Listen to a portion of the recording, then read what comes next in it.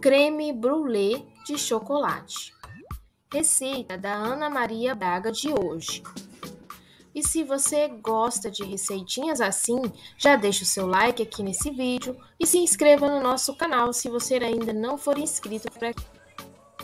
O doce é um clássico da confeitaria francesa.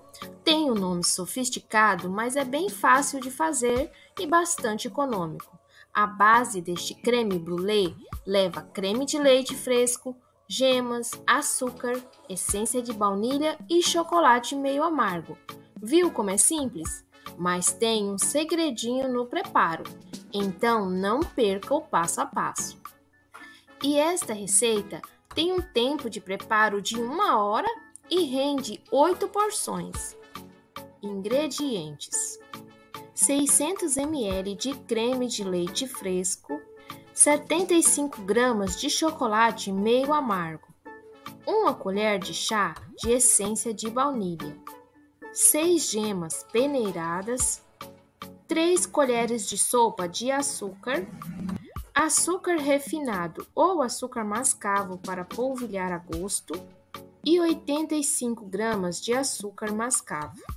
Modo de preparo: numa panela, coloque os 600 ml de creme de leite fresco e as 75 gramas de chocolate meio amargo.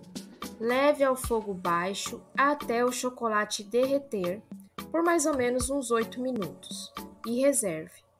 Numa tigela, coloque uma colher de chá de essência de baunilha, as 6 gemas peneiradas e 3 colheres de sopa de açúcar 85 gramas de açúcar mascavo e mexa bem.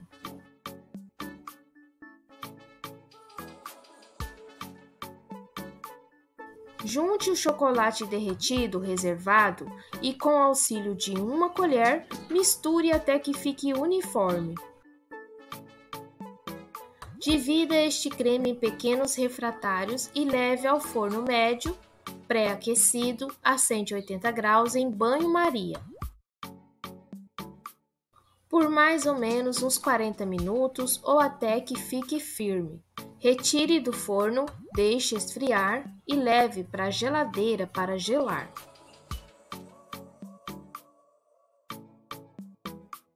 Você pode peneirar a açúcar mascavo em cima dos recipientes. E para caramelizar a açúcar por cima, é só esquentar uma colher. Se você tiver um maçarico culinário, é mais prático e melhor para usar. E aí, você gostou da receita? Já tinha feito esse creme brulee aí na sua casa? Se ainda não fez, agora é só fazer e experimentar.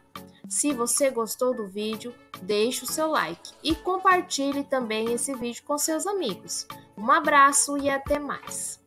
Assista também em nosso canal a receita do creme brulee de paçoca da Ana Maria Braga. O link eu vou deixar aqui no card.